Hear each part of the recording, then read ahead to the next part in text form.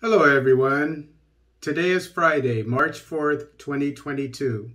Cameroon says rebel bomb kills officials. This article is taken from The Voice of America.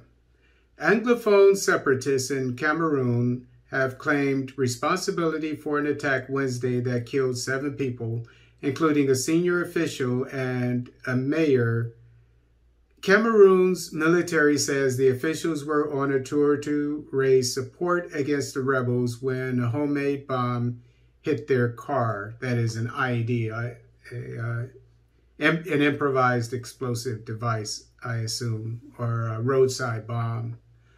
Um, for those who don't know, Cameroon has, uh, from what I understand, a small section of, relatively small because it's a large, uh, rather large a, a fairly large country, uh, a, a, relatively small part of the, the country, the French speaking country, is actually English speaking. And it neighbors Nigeria. So the insurgency there, they, you have separatists.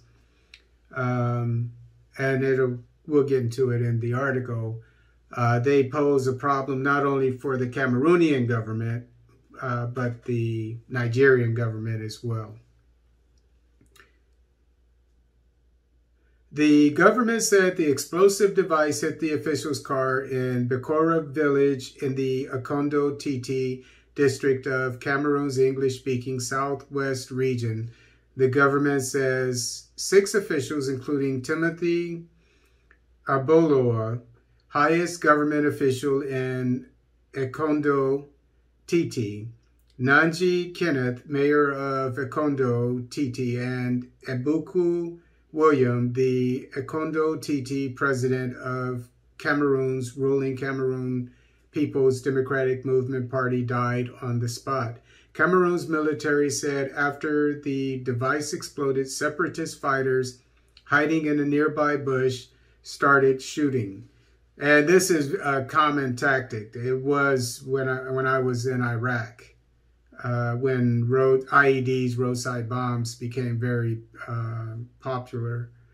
Um, the they were a way to start an ambush because if you if if a vehicle, usually a convoy, because you don't have just one vehicle, at least in Iraq, we would have three vehicles at least traveling together and uh, so the first vehicle, eh, they would set it off obviously on the side uh, while they were watching you go by. And they would, uh, whichever vehicle they, they chose, maybe it would be the last, it didn't matter, but they would uh, set off the IED, the improvised, the roadside bomb, ex eh, improvised explosive device, and it would blow up the truck and then you would have to get out because you can't drive it anymore. And then, you know, usually it was the first vehicle. And so the vehicles behind would have to stop and then, you know, they would get out and everything. And then they would come out and they would start shooting. So uh, this is sta standing operating procedure when it, uh, for insurgents. Bernard Okalia Bilai is the governor of the Southwest region. Bilai said several government troops sustained injuries and a military official died while being rushed to a local hospital by the military.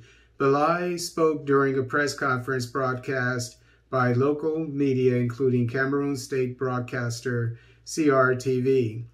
All the six occupants of the car died. The other forces of law and order military who were in the pickup following the official's car was wounded. Uh, one young officer, a lieutenant, was wounded and he too passed away. So, in that attack, we have lost seven persons, he said. Bilai said the officials were on a Meet the People tour of Ekondo TT. He said during the tour, the officials were expected to educate civilians on braving separatists and relaunch economic activities in their towns and villages. Bilai said the officials were also asking civilians to report suspected fighters hiding in their towns and villages, which I completely agree with. Uh, that's a good tactic. Cameroon's military on Thursday said troops were deployed to Ekondo TT shortly after the explosion. The military said the troops will track and arrest or kill the fighters should be uh, should government troops face any resistance from the rebels. Capo Daniel is the Deputy Defense Chief of Staff for the Ambazonia Defense Forces, said to be the largest separatist group in Cameroon. Capo said separatists regret that one fighter has been missing since Wednesday's attack. He said no fighter was wounded and none were killed by government troops in the Ekondo TT attack, as reported by Cameroon military. Capo spoke to Voice of America via a messaging app. This operation is part of our liberation operations to end the Cameroon occupation and rule of Ambazonia territory. The divisional officer is in charge of coordinating Cameroon's military operations in Cameroon's occupation of Ambazonia territory. We will continue to battle and resist Cameroon rule of Ambazonia until the last Cameroon military is booted out of the territory. He said, Cameroon separatists have been fighting since 2017 to carve out an independent English-speaking state, a, a um, colonial language. And it shows you how backward these people are. And the majority, I would have some respect for them if it was an indigenous language that they wanted to speak.